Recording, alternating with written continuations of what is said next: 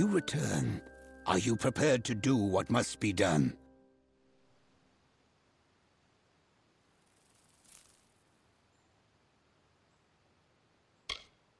The brilliant Savaladan Bloodgood led the founders to build the very grounds of the Scholia Arcana into a spell.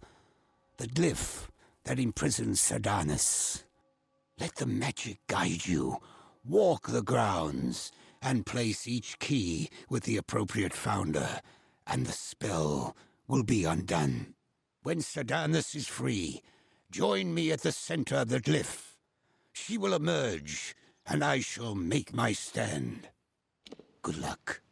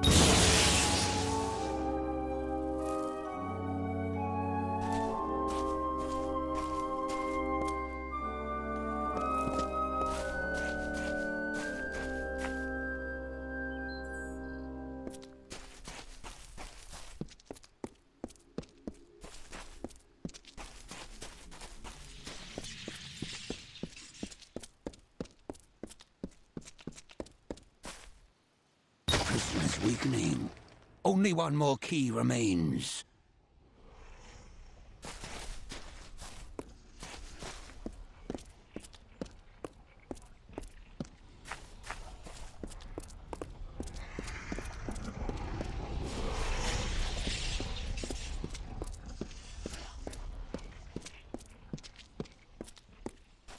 I can feel the harmonies of the spell glyph unraveling. She is coming, Savant. Why does she not ready? No. Stay back. It's, uh... You must... Ah! For so long, I have anticipated this moment. To savor the sweet taste of freedom, and to destroy the legacy of those that imprisoned me. And I owe it all to you. From the beginning, you've played your part with a bright perfection. Each step in harmony with my will. Fool. So much potential. It is a pity I have to kill you now. Archsage. What silly titles you children use. That wretch would have been a servant in the Dark Empyrean. But rest assured, he is safe now. Deep within the very same spell that bound me, and he will rot there for all eternity.